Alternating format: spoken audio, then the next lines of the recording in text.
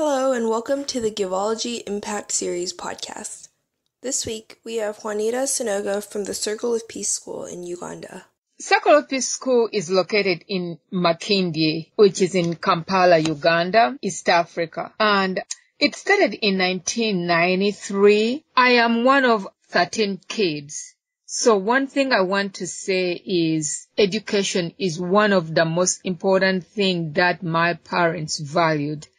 My father was able to be educated up to secondary school, which is high school, and my mother never really had enough education. She only had to fifth grade. So in her life, because she didn't have education as she would want to, and during that time, they only cared about educating men than they cared about educating women by the time when she was growing up.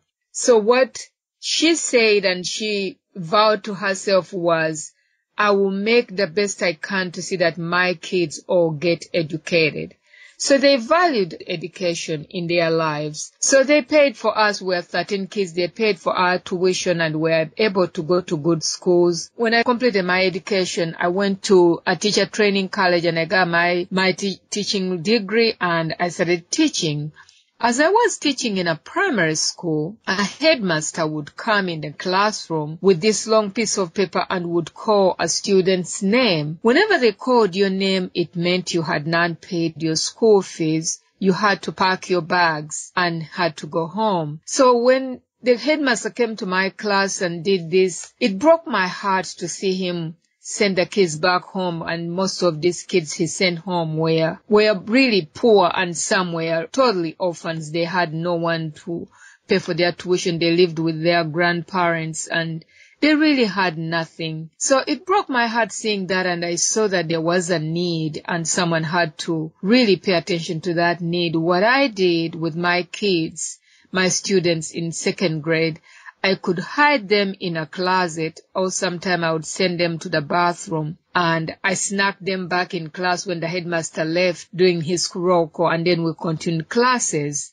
So the teachers that was teaching with me found out my, that I was sneaking my kids back in class. So they warned me and they said, if we don't get paid, you are going to pay us. So I said, where will I get the money to pay these, these teachers? I had to go home and told my mom that you say, my parents, that you say that education is the only key to open anyone's doors and a future, better future. I have kids in my class who are chased out of class because they can't pay.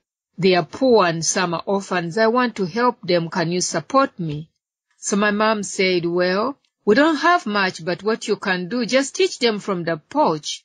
So my mother gave us a porch on her house and said that this is where you can teach from. So we sat down on the porch. I started off with eight students on my parents' porch and started teaching them. By the end of that month, I quit my position at teaching and I started teaching these kids full time. By the end of that first month, it became 25 students. Then my father said, we have a problem. We have to find a place to put you guys. You can't stay on this porch. So went around on the village looking for place and then we found an area which had a house and it was abandoned by a widow who had moved away and went back to the village. She said we we tracked, we tracked where she was and asked her if she would let us use her house. We would clean it up and start school in there. So the lady said, oh, that what you are doing is a good thing. You can have that property and you can give me just a little you can afford. I don't need much, but I'm glad you are helping these poor kids. So we started in that house. It was a one roof, two rooms in it. So that's where we started our teaching. My daddy gave us a table from my house and then the people who had their students started bringing in whatever they had. Some brought in chairs, some brought in a mat. Everyone brought whatever they could afford to us and they donated to the school to begin. So I sat down with, and my sister also quit her job. She was working at a daycare. Her name is Mary Love and we both started teaching these students. So we sat down in a circle every morning when we used to, when, whenever the classes were going in, going on because we never had enough furniture. We were sitting down on the floor. So as we sat in a circle, I thought in my head, what can I name this school? We need to name it so because we are sitting in a circle, we said, well, these kids, they are at peace. You can see the peace in them. They are now worried about being chased away and they're sitting in a circle. Why don't we call it Circle of Peace School? So it became Circle of Peace School from that on and the school started growing and grew from each class like was building a next class. Uh, kids, parents, kids, and everyone started coming and we were never sent away any child. We just had on more kids and more kids come. So the school grew from 8 to 25 to from 25 and it became big. And in my mind starting that school i did not i did not vision that where will I, I like you can think in five years this is what i want to do. And i thought as we were taking one day at a time and the only thing that made that school survive was we had a desire a determination to make a difference in these kids lives and also to help them break the cycle of poverty. So that's why this, we did everything we could do for these kids and the kids school began to grow and grow and grow. Today the school has grown to 350 students and I'm really blessed to see that this school is now become international because people here in the US have I have about 45 people who have gone to this school, visited the school. I have representatives from Givology who have visited this school. So it's something that to be proud of. And it's not a just, like I don't even call it my school. It's is our school because it's now has been involved with so many people in it. There are so many people who are involved with helping us and trying to make a difference in the kids' life. And once you get to know these kids, you want to do the, the like you want to work hard with them and help them progress. How long has the school been around since you started on the porch with eight students? Okay, the school started in 1993 and it from 93 to today, the school is still going on. So that's almost 20 years? 20 years. What are you most proud of today? What I'm most proud of today is to see the students that have grown out of the school and continued on their education that they come back to give at the school by volunteering at the school. Like when I went with the Givology representative, the students who are alums, I call them alumni who, who went to that school, they came back and they saw us taking down the structure to move it to uh, a permanent property because the other property where we started from, the owner wanted it back. So they came back, they came to help us and doing like it was like what can we do to help this school grow? What can we do to help this? Like whenever they know there is something going on they come back. So i'm proud to see that yes the people that the students that I'm trying to help, we are trying to help, they can also give back. I have two students who have graduated from law. Uh, one has graduated from the from a law school who was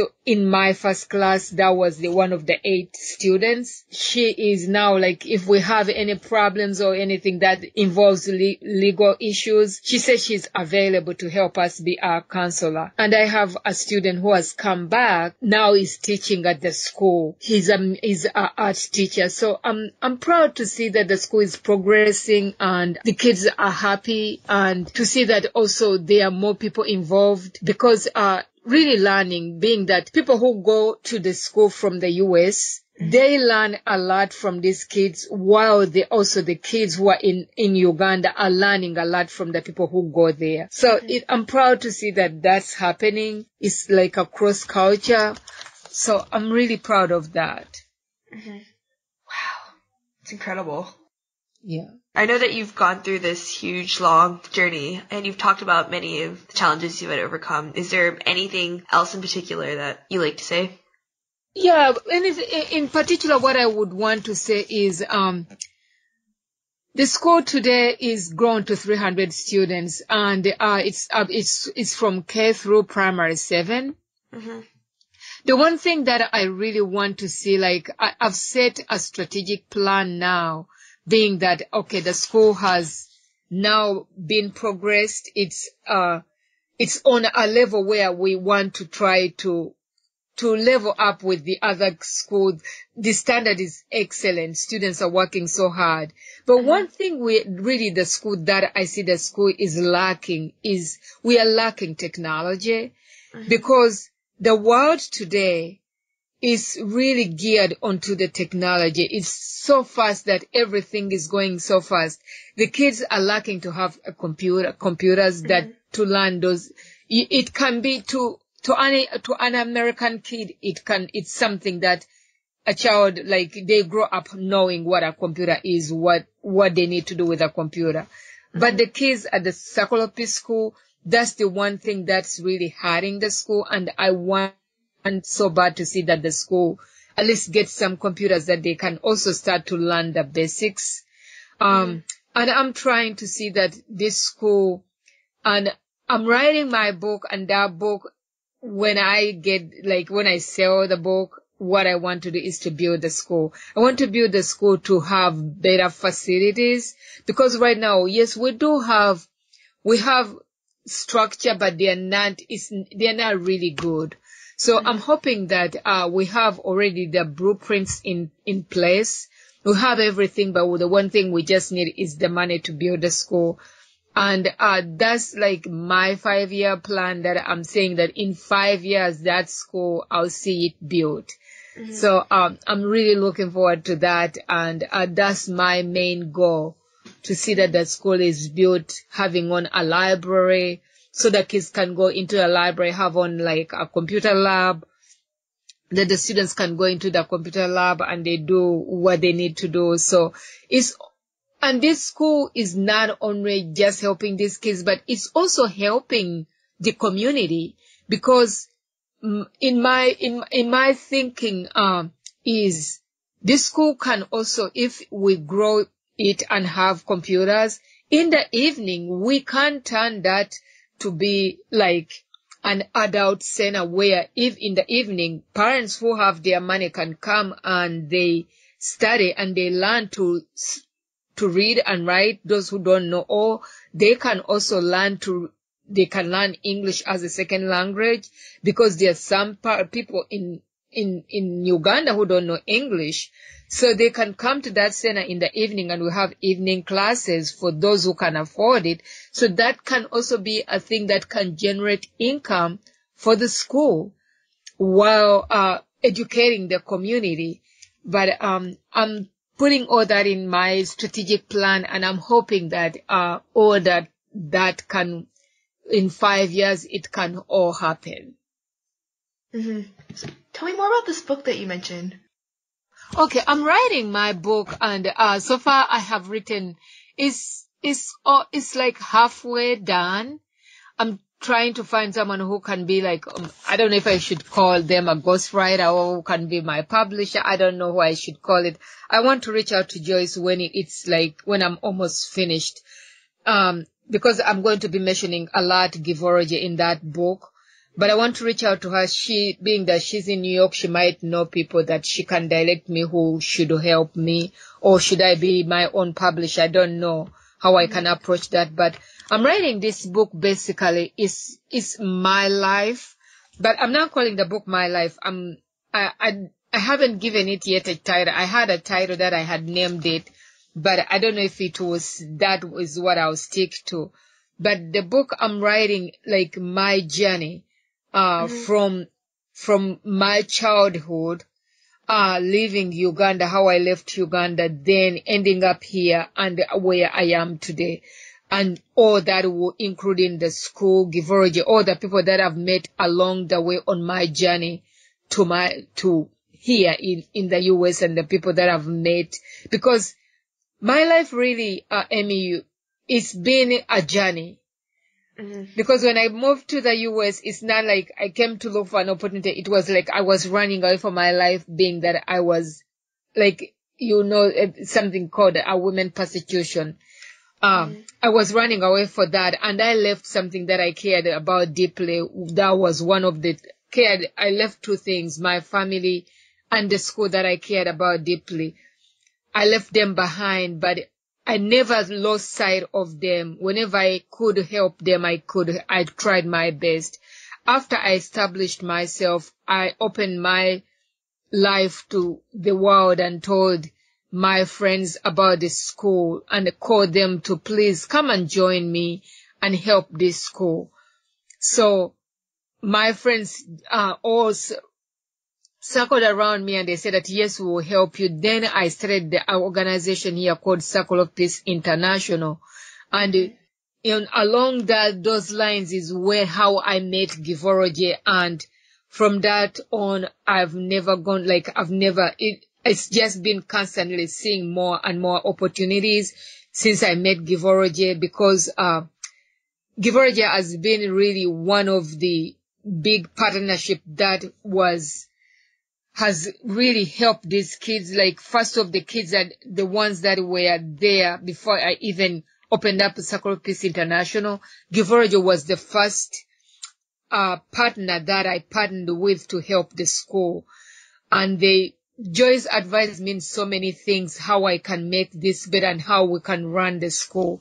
So I'm really proud to see that, uh, I have people and Givology's really, um, their vision is not far from what the Circle Peace School vision is because they are trying to educate kids around the world. Uh, although I'm trying to educate kids in Uganda, but Givology is educating kids around the world. So it really matched, uh, it, it matched us so well. That's why I think the partnership worked so well.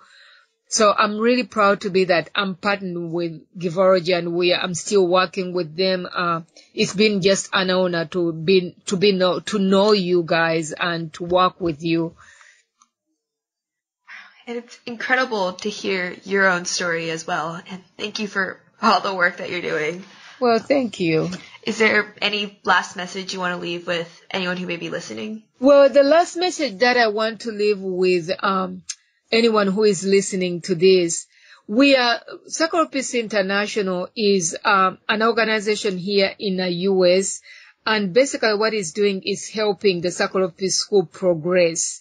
So I, um, we are looking for people to join our board in different things. We are looking for a program manager, I mean, yeah, program director, that one who will work with programs at the school with the US people and um, we are looking for student teachers, people who want to to take a year off and want to go teach or have three months and they go to the school and teach. Um, we are looking, all these are volunteers. We are looking, because they're non-paid positions. Basically, they are volunteers. If someone is looking for some, if they graduated and they have not found a job yet, we are looking for volunteers who can guide the school and teach. We are looking for people can help us with fundraising here in the US. We are also looking for people who can handle the pen pal program that we have here in the US. We are also looking for uh, we are looking also for uh, a pen pal pro- program manager who can work, a director who can work with the students and the, here in the US, coordinate schools that want to do a pen pal program, connecting them with the school in Uganda. And also we are also looking also for um, someone who can handle our donors who have been sponsors to these students and uh, can be the person who can be like our link to the donors and and the students and say that this is your student and remind them that your donation is of is due. We need more donations to to to help to sponsor the child. So uh, we we have several positions still open, and and we are also looking for a videographer who can help us to edit videos that we have. Uh, someone who knows how to take good pictures. We are, we have several different things that are uh, positions that are still available. We are looking for people. So I'm inviting anyone who is available, who has time to give, to join Circle Peace International and help us to um, help um, these kids really um, get their future, also have a better, bright future. Because what we all, no matter where you live, I know people who live in the US, you, we are all looking for one thing. Living in the US, living in China, living in Africa, living in Australia, living in wherever you are living, we are looking for one thing, a better life. that's what I am asking anyone who want to help these kids also have a better life. Come and join us and help of Peace School in Uganda also get a better life and give these kids an opportunity, a gift of education. The other thing maybe I should say is we have 30 orphans that live at the school. 30 orphans live at the school full time and mm-hmm. uh, they live in the dormitory. So boys live in their dorm and the girls live in their dorm. So the, the strategic plan that I'm talking about is we want to see that we build them uh, a dormitory because they are living, uh, the boys are living on, they are all living in a bunk beds and they share it because we don't have enough room for each one to have their own bed. But I'm hoping that when we build the dormitories, we'll be able to build a building where each one will have their own bed and have also uh, cabinets in their in their room and also have like a study room where they can study and do their homework so we, mm-hmm. we don't have that because we, we still are lacking, we are lacking like the money to build. We have the space. That's one of the good things that Givoji helped me to do. We did a big fundraiser and they helped me to raise funds to buy, purchase this land. So, um, but now I'm reaching out to Givoji to see if we can try to do a fundraiser to get, uh, the books, uh, to get them to, build for them class classrooms. And also the other thing that I'm looking for help is I am working with Givology, which is uh, in Alexandria. Students have collected books that we want to, to send over to Africa to the school. I'm looking forward to see if someone is going to Africa or know someone who who is in shipping business to let us know because we want to ship a lot of things we have collected over the years so we can send it over to the students and they can be able to use these books uh, to read and use them and than just keeping them and putting dust off those books. uh, aside from helping with these campaigns and donating to these projects, how can someone get involved? Well, if someone wants to get involved to to these campaigns, um, all they need to do is to just email me and then we can schedule up and see how we can arrange uh, arrange how to do it. Mm-hmm. All right. Anyone, if anyone wants to join any of these campaigns or any, any anything, or they, if anyone even have an idea, how can we fundraise, or how can we do better, how can we improve, or mm-hmm. how can we do, or if they know how to do something different that has worked for their organization, they can reach out to me and email me uh, or just call me my number. You have my information, Amy. I think you can give that. I can give it to you. Um, they can just email me by jonitasenog at gmail.com or they can call me. My cell phone, I have it at all times, 804-247-1177. They can call me at any time or text me and then we can we can brainstorm how can we move move on or I can set up a Skype conference or we can do just a conference call and we see how we can we can really put that in place.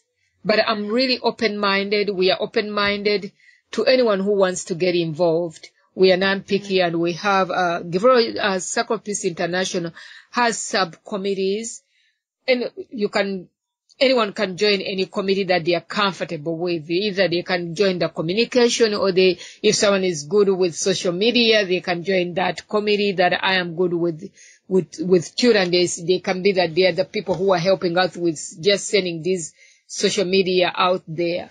So we need all that in place. Right now we don't, the people that I have on, on Circle Peace International, it's, it's sad to say, but they don't do Twitter and some don't do Facebook. So we are looking for the young blood people who are so much geared into that. So if I get that, I, I really think we want to put ourselves out there. Thank you. Thank you.